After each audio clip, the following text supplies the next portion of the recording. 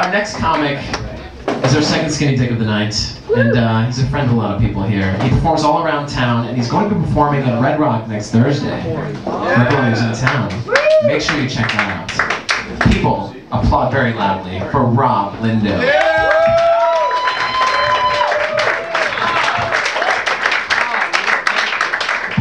That introduction was just right. How's? You all. Thank you so much for coming. Thank you, Suna, and all the other comics we've had so far. I like to move this so it's just right, so then I can just take the mic out of there anyway and then move it right out of the way. So, um, let me see. Lost. What the fuck? I'm gonna bring it up. Are you clapping? Because you like that shit?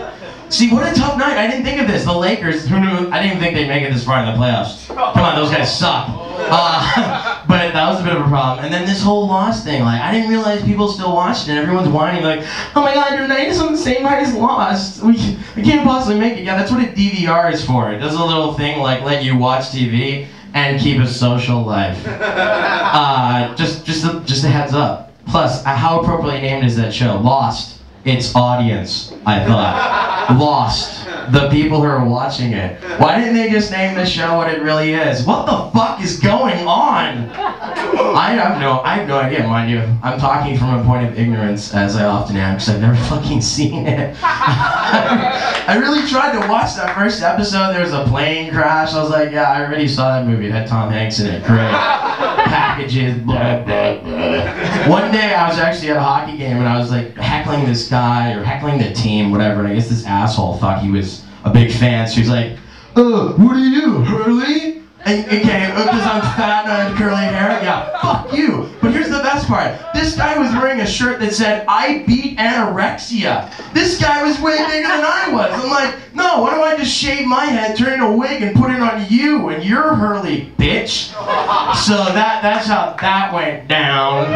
Anyway, that's that's that's just some shit about Lost. Thank you all for coming. Uh, my name is Rob Lindo.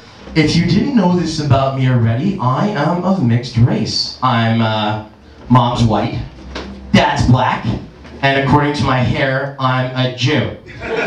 what is up? Well, what happened there? I came out pretty white. Like I look at myself in the mirror, my my lips are so thin. I'm like, fuck, I must be white. I, I try to I try to puff them out. I'm like, there's like lip gloss you can get which puffs your lip. Nothing. I need to get some sort of in- injections and fat collagen. I don't know what they put in there. But normally black is the dominant gene, so it's like a little weird that I did come out so light skinned. And I just keep imagining like how many arguments there must have been between my dad. He'd be like, well, look at that boy. The boy's white. White as hell. He can't be my kid. It must it must have been the mailman.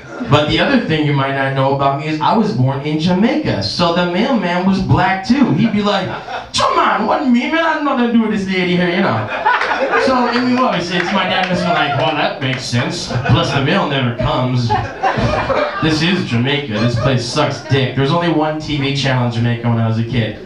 Uh, JBC, the Jamaica Broadcast Corporation, and here's what it here's what it showed about. Uh, it had four hours of programming a day, and the rest of the day was white noise. And they showed four shows Dynasty, Falcon Crest, Knight Rider, and the news. Like, that was it. So that was my whole childhood growing up. It was like.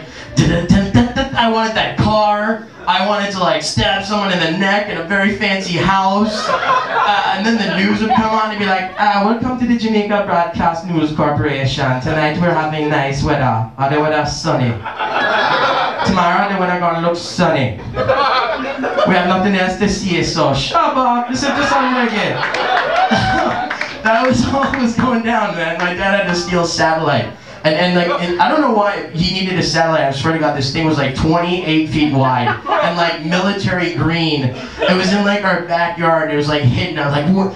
What are you doing? Why do we need such a big satellite? It's just like anywhere else in the world. And then he, I was like, well, I'm stealing it. What if there's like an airplane flyover and they're looking for a satellite dish? It's like some military shit. They never gonna see it. I'm like, okay, okay, cool. Where's where's the Spice Channel? Just tell me where the porn's at. So um, another thing about my dad that you might not know, because you don't know him, is that he was a germphobe uh, and OCD. Now those people are really annoying. They're always washing their hands. Come on, you know there's one of you in here, you fucking annoying bastard with your Purell and shit. Um, they're always washing their hands. Like there's this sign in the bathroom that says it must wash your hands. Like we know we're supposed to wash our hands, and we don't need you, you germphobic law writer, to tell us that shit. But there are other benefits to knowing someone who's extremely germphobic, and I'll tell you what they are. One day I went in my dad's bag and I'm like, hey, hey, what's up, dad? He's like, uh, what's up with you? And I'm like, why is there a bag of bags in your bag? He's like, like literally a bag full of plastic bags, like not lunch sandwich bags, but just just these big bags. He's like, well, you see the thing about these bags is when I drop something and it becomes contaminated, I put it in the bag and then I take it home. And if I can disinfect it and put it back in a condition where I can use it again, I'll use it again. And I'm like, oh, that's so weird. Like even as a kid, I was like, you're a freak. And I'm like, well, what if you can't can uh, you know clean it up? He's like, well then I'll just throw it away. I was like, so you throw away anything that touches the ground that you can't clean? Yeah. So like this book. Oh, oh, I I love this book. So I started taking anything I could. This was my method. I just drop shit. Oh, can I keep that? Great. There was days when he would come home and like everything in the house would be on the ground, and I'd be like, I'm just gonna take all this stuff if you don't mind. I've tried to use that throughout life. Because what that really taught me was how to manipulate people. These are the lessons you learn as a young child. You can use that manipulation later in life to like get sex or take people's jobs, any of the above. Um, so, not that I've done that. I've never done that. I never had a girlfriend who came home with everything on their house in the ground. She's like, I'm not even germphobic. What are you doing for, for breaking up? Um, so I moved out here to do acting, and the problem is, is that I I have like this look where it's like a little bit Jonah Hill. People were like, oh my god, you came out here at like the perfect time. You look like Jonah Hill. And then other people were like, no, you look like, you know, Seth Rogen. You're, you're perfect. You're like Seth Rogen and Jonah Hill fucked each other and had a baby. Perfect timing for you. And then Seth Rogen, that asshole, lost all that weight, and Jonah Hill like shaved his hair. So he, I, I lost all my edge. So I was like, and you know what I'm gonna do? I'm gonna kidnap Jonah Hill. I'm gonna take that motherfucker out. Just show up at his auditions. But it turned out he's quite wily. I've had people on the case for ages. I can't even find this kid. You wouldn't think he'd be that fast, but he's quite fast. I think he must be onto me. So then I'm like, fuck it. Well, what? I'll, I'll just take all. I'll just redo all his movies with a Jamaican accent. I'm the Jamaican Jonah Hill. So it'd be like, it'd be like instead of the 40 year old virgin, it'd be like, yeah man, I want to buy these shoes here. You know, these shoes with the goldfish in them. Shabba! Or, or then uh, Superbad.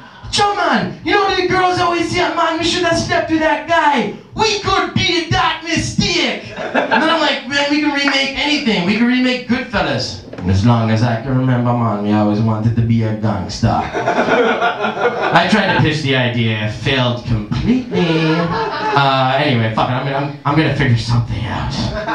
Uh, anyone here from Oakland? Oaktown. No! San Francisco? Yeah! There we go. I, I wanted to tell you something. I was up in Oakland recently, and they have something there called the Super CVS. Have you ever heard of a Super CVS? No? Okay. It's like a Home Depot date raped a fucking CVS. Was like, ah, and then just passed out on top. And that was it. I mean, I'm talking the biggest, most amazing store you've ever seen. Just, uh, done. And like, you walk in there and there's like lumber and prescriptions and fucking wood growing and plants and trees. It's like, they that are like a millinery. I didn't even know what this is. You can make your own clothes. I'm telling you, you could be born in a super CVS and never leave it. Plants for oxygen. You could, grow this whole thing. Anyway, this really isn't even a joke. I just wanted to tell you how awesome Super CVS is, and, and God bless them for doing that kind of shit. Um, thanks, Mike, for that, that lone clap. Uh, what about Idaho? Anyone here from Idaho? Oh man, tough crowd, LA, all you people. Idaho! Our, I was driving down the street the other day and I saw a car with an Idaho license plate and it said Scenic Idaho on and I'm like, what?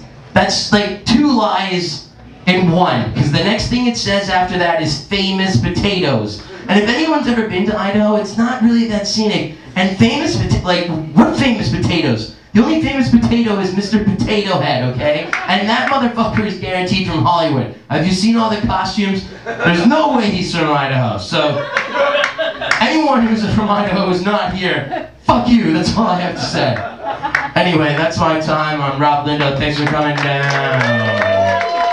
Wow, Lindo, everybody. Holy